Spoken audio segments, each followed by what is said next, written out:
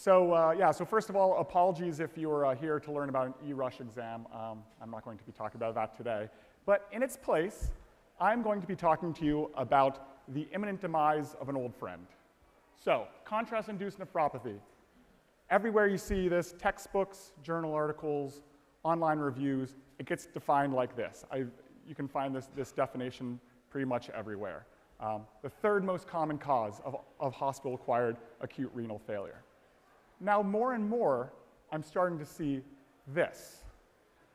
So there's a pretty big disconnect there, right? Like this is either one of the most common causes of renal failure there is, or it's a complete figment of our imagination, right? So that's a, there's a pretty big chasm between those, those two things. So um, we're going to talk about today and see if we can kind of try to close that gap and wrap our minds around a little bit. So, um, so let's first of all just talk about what contrast-induced nephropathy is, where this idea comes from.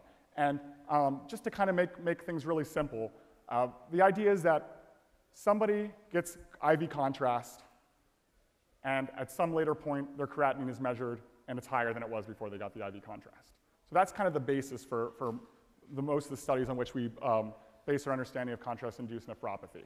Now, the problem with that is, is that doesn't necessarily show causation, it shows a correlation, right? So what's the problem with this? Well, who do we give IV contrast to, right? We give it to, we give it to people that we're doing CAT scans on. And who are we doing CAT scans on? We're doing CAT scans on people who are sick, right? So these are people who have disease processes. People who are sick get medications. People who are sick can become dehydrated. People who are sick get systemic inflammation in their body, right? So there's a lot of things going on in the people who were CAT scanning. So the question is, are we placing the blame on IV contrast, or is the blame laying somewhere on these other things when these people are having renal dysfunction?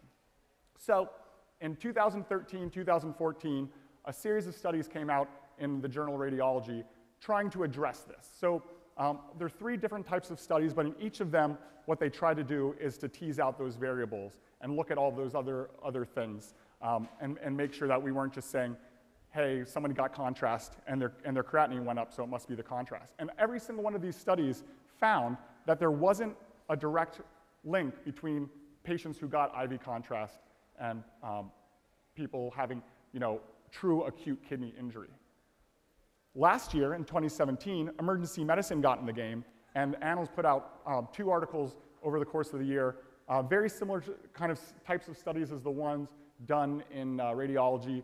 Um, one was a meta-analysis, um, one was a um, propensity matching um, type study, and both of those studies also found that they could not find a link between acute kidney injury and IV contrast when, um, when kind of uh, taking into account all those other variables that I mentioned before. So this kind of wave of studies is what's starting to make people question whether this concept of contrast-induced nephropathy is really a thing at all. So as contrast-induced nephropathy slowly fades away from our consciousness, something is taking its place. Post-contrast acute kidney injury. And they're similar, but there's a subtle difference there, right? like so, so sure, they got contrast. Sure, something ha bad happened to their kidneys, but you know, it's, we're, we do not really know what, whether there's a connection there or not. So, um, so let's talk about the difference in, in the studies of these two things. So I already talked about where, where our idea of contrast-induced nephropathy came from. Um, the thing that, to mention about this is that you know, most of these studies just measured that there was an elevation of creatinine, um, but they didn't necessarily say whether that had some sort of clinical significance or whether two days later that creatinine came back down to normal. These studies also didn't, didn't study how many of those people creatinine went down after getting IV contrast. So there's a possibility that if you studied that, you could find, make up a study that showed IV contrast is renal protective. So the new idea is that a person gets IV contrast, but that same person also has you know, volume depletion, might be getting nephrotoxic drugs, might be having disease other disease processes going on. And all those things together are causing acute kidney injury. So things that we actually care about, you know, need for dialysis, mortality, these are the things that actually need to be studied. And in the studies that actually looked at all these things together, um, didn't find that link that, that showed that the IV contrast was the causative agent of this AKI. So one other thing worth mentioning is that not all contrast has been created equal. Um, we currently today use low or iso osmolar contrast agents. For, this, is, this happened in the early 21st century. All of you are using these the two agents on your, my left, your right. Um, high osmolar agents were used for you know, all of eternity before that, and most of our studies that found contrast-induced nephropathy um, to be a thing were done when that agent was being used. Um, and it's thought that our newer agents today probably um, aren't nephrotoxic, where the, the, high osmolarity ones may have been. So that might have something to do with our changing um, thoughts on this as well. So here's the big question what do the radiologists think? So every year, the American College of Radiology puts out this manual on contrast media. They update it every couple of years. And this is what they say. If you're going to use a threshold at all of who you can give IV contrast to, use a GFR less than 30. I would be willing to bet most of you are using a threshold um, higher than that right now. The same manual also says that if someone doesn't have one of these risk factors, you don't need to, to check their creatinine at all.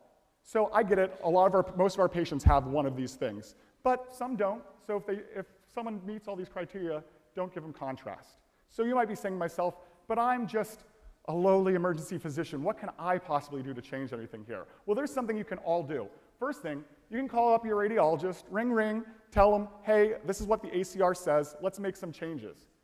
You can write your own guideline. I did. I typed this up and we submitted it, and, this is, and now we have a guideline that we use at Temple um, that I wrote, emergency physician wrote. I'd be happy to share it with anyone who wants it. So tomorrow, you can stop doing creatinine levels on people who meet these criteria. Tomorrow, you can change your GFR cutoff to less than 30. And at the end of the day, this is a risk benefit analysis. We're learning what are the risks of IV contrast. They're low. What's the benefit? Is finding dangerous diseases. So don't be afraid to give it. I'm going to end with this slide here um, that was from this Emergency Medicine Cases podcast because I think it's the best summary of this that I've seen.